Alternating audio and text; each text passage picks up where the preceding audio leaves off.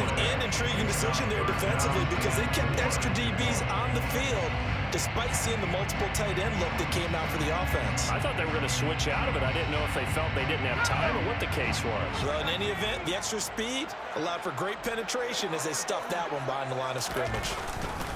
On third down, here's Ekeler. And he got blown up. Losing yardage on the play back at the 44. Defensively, they rally the troops to force fourth down after that seven-yard pickup back on first. They snap it to Herbert. And Allen's got it. He'll get it inside the 20. And all the way in for a Charger touchdown.